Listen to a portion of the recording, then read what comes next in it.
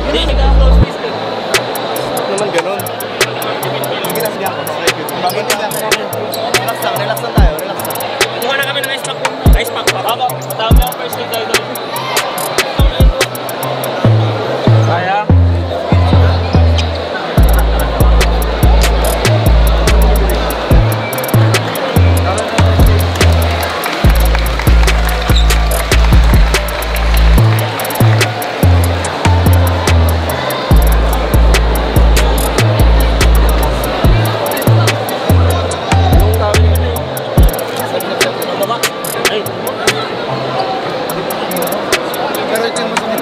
Hindi, kasi ito yung tumama eh. Narinig ko yung tumama eh. Ito yung tumama yung pagbaksak. Pwede yung mili malinis na. Oo. Ayan, yan, yan.